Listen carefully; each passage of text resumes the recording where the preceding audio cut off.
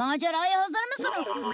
Kimmiş zaman dilimlerinde gezen? İşte Zavyer ve gizli müze burada. Kahramanlarla dostluk eden. İşte Zavyer ve gizli müze burada. Herkes burada kız erkek. Biz değiştirelim dünyayı. İşte Zavyer ve gizli müze burada.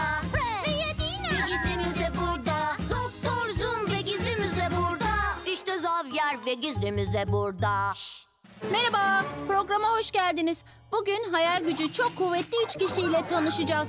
Bronte kız kardeşler. Charlotte, Emily ve Anne Her üç kız kardeş de insanların çok severek okudukları harika hikayeler yazdı. Aa, Hey! Aa!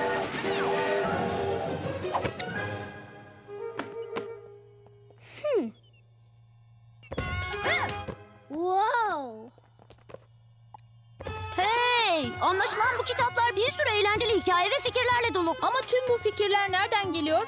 Hadi gösteriye başlayıp bunun cevabını öğrenelim. Brett, bitti mi? Bitti mi? Bitti mi? Yeni bisiklet adam çizgi romanını görmek için heyecanlıyız. Yadina, Xavier, hayal kırıklığına hazır olun. Ama bu hiç iyi değil Doktor Zoom. Brett, ne oldu? Bisiklet adam hikayeme bir türlü iyi bir son bulamıyorum. Hikayelerin bir sonu olmalı. Ama aklıma hiçbir fikir gelmiyor. Sanırım bisiklet adam son yolculuğuna çıktı.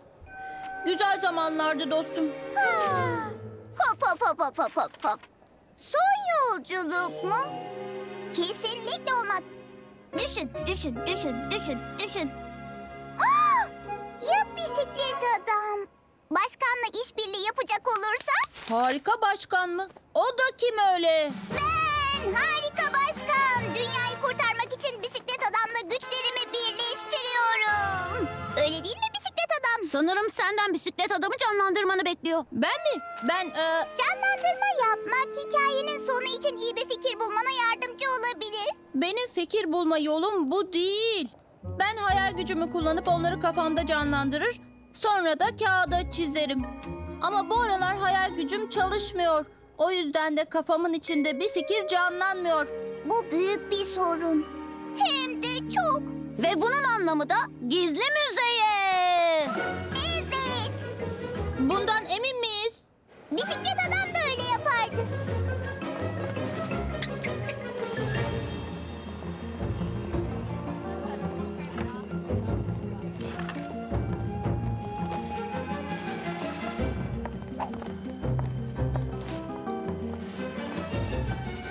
Gizli müzenin bizi kiminle tanıştıracağını çok merak ediyorum. Ve nereye gideceğimizi. Ve hangi zamana? Wahoo! Merhaba Barbie. Merhaba Barbie. Merhaba Barbie. Bir şey geliyor. Üç eşya birden mi? Bu çok değişik. Sizce tüm bu kitapları tek bir kişi yazmış olabilir mi? Hey bakın. Üç kişi. Charlotte, Emily ve Anne Bronte. Tanışacağımız kişiler onlar. İngiltere'de. 1826'da. Bu neredeyse 200 sene önce. Bronte kız kardeşlerin sana yardım edeceklerinden eminim. Bunu öğrenmenin tek bir yolu var. Maceraya hazır mısınız? Hazırım. Hazırım. İşte gidiyoruz. Başlıyor.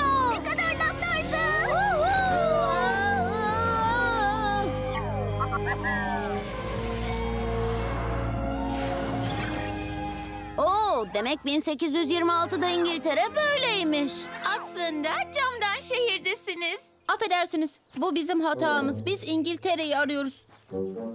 Burby'nin bir şeyi mi var acaba? Bence doğru yerdeyiz. Onlar Bronte kız kardeşler. Camdan şehire. Gelin size gösterelim. Sizi tüm eğlencenin olduğu yere camdan şehrin merkezine götüreceğiz. Bu taraftan. Camdan şehre hoş geldiniz. Burası biraz... Aa, burası Burası kendimiz için kurduğumuz bir şehir. Burada hayali insanlar harika hayatlar yaşarlar. Ve biz de burada hikayeler yazmak için hayal gücümüzü kullanırız. Ve burası camdan mı yapılmış? Hayır, biz sadece eğlence olsun diye o adı verdik. Bu bir canlandırma oyunu. Hikayelerimizi canlandırıp farklı insanlar gibi davranmayı seviyoruz. Peki hmm, bir sorun var. Hikayelerinizde nelerin olacağını nereden biliyorsunuz? Bilmiyoruz. Bu bir canlandırma Oo, oyunu. Hikayeye ıı, gidişine göre yön veriyoruz. Yani bir hikaye fikri bulmanın çok yolu vardır. Resim yapmak, şarkı söylemek, oyun oynamak, çevrenizdeki insanları gözlemlemek. Charlotte'un dediği gibi bunun bir sürü yolu var. Ama bizim şu anda canlandırma oyunu oynayarak hikayesini anlatacağımız şey... Bir sirk. Camdan şehirde yaşayan herkes onları görmek için çok heyecanlı. Cesur ip cambazları. Ama önce her sirkte olması gereken şey meydancı.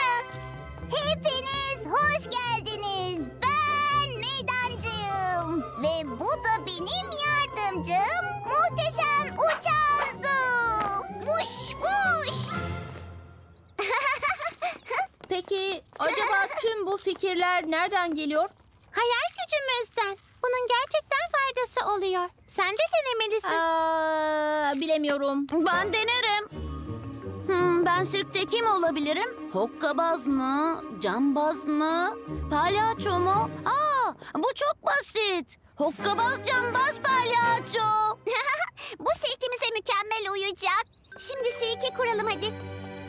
Yüksek bir dağ. Aa. Hı? Ve oraya ulaşmak için de sallanan köprüden geçmelisiniz.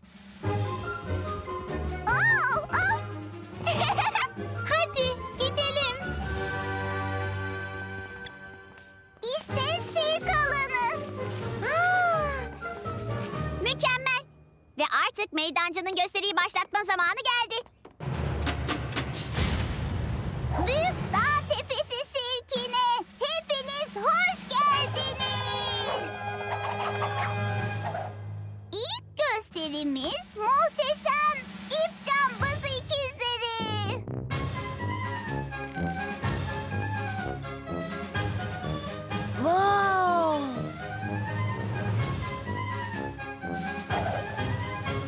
Bu harika.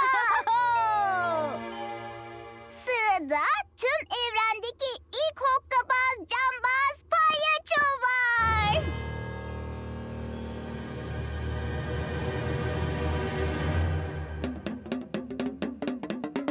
Hı?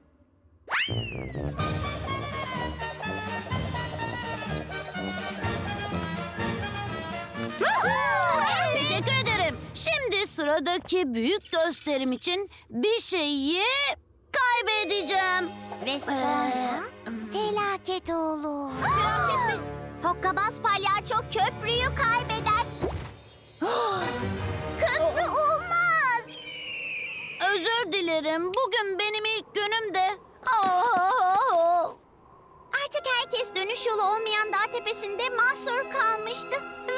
Yanımıza yiyecek almayı unutmuştuk. Hayır. Evlerine dönüp karınlarını doyurmalarının tek yolu onları kurtaracak bir kahramandı. Ama bu kahraman kim olacaktı? Sizce kim?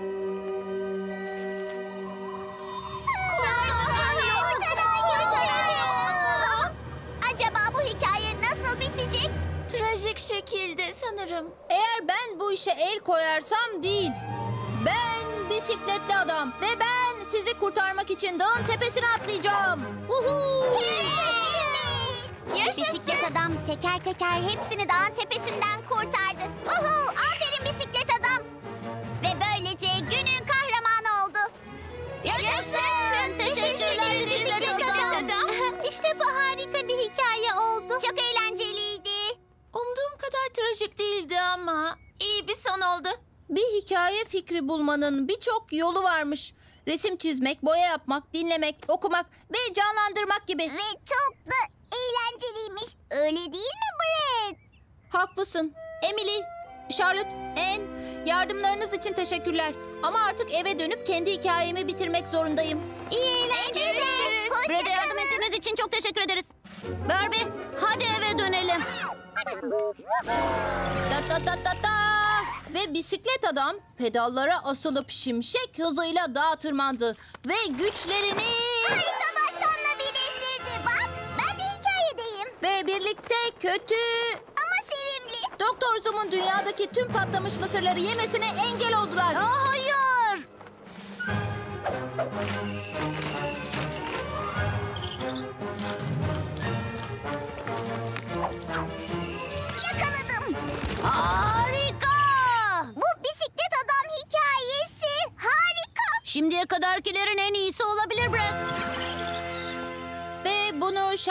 Charlotte, Emily ve Anne Bronte'yi tanımama borçluyum. Ve büyüdükleri zaman birçok harika hikaye yazdılar. Bronte kız kardeşleri tanımak için yaptığımız yolculukta bize eşlik ettiğiniz için teşekkür ederiz. Onlar da bir zamanlar çocuktu tıpkı bizim gibi. Yani çocuklar dünyayı değiştirebilir. Ben Xavier. Ben Yadina. Ben Brett ve artık hikaye fikri bulmanın birçok yolu olduğunu biliyorum. Tıpkı Bronte kız kardeşler gibi.